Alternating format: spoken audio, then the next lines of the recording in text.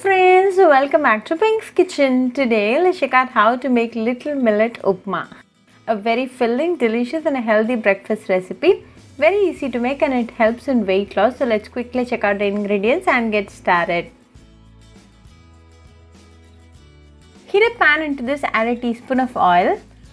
When the oil is nice and hot, add quarter teaspoon of mustard seeds, 4 shallots chopped, 1 green chili chopped, few curry leaves and quarter teaspoon of chopped ginger.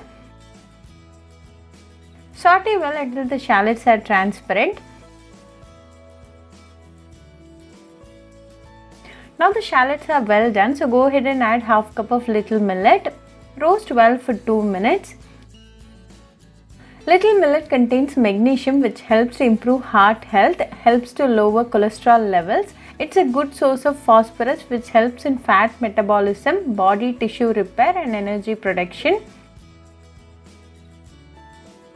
Now to this add 1 cup of hot water. Add quarter teaspoon of salt to this. Mix it well until the water completely dries up. Now the water has started to reduce so close it with a lid and cook for 5 minutes in low flame. Now and then open and give it a quick mix and again close and cook.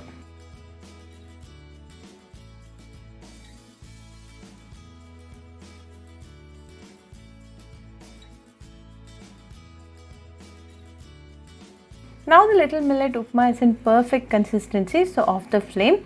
Now a delicious and healthy little millet upma is ready. Serve it nice and hot with some chutney and sambar and enjoy with your family and friends. Very easy, healthy and delicious breakfast recipe. So do try this little millet upma recipe at your home and write back to me your feedback. I'll meet you all with another interesting recipe. Until then, bye friends. Hope you like this video. So please do like, share, comment and subscribe to Pink's Kitchen channel and click on the bell icon for latest updates. If you wish to check out our recipes in Tamil, you can visit Pink's Kitchen Tamil channel. I'll be giving the channel link in the description box. Happy cooking and thanks for watching this video. I'll meet you all with another interesting recipe. Until then, bye friends.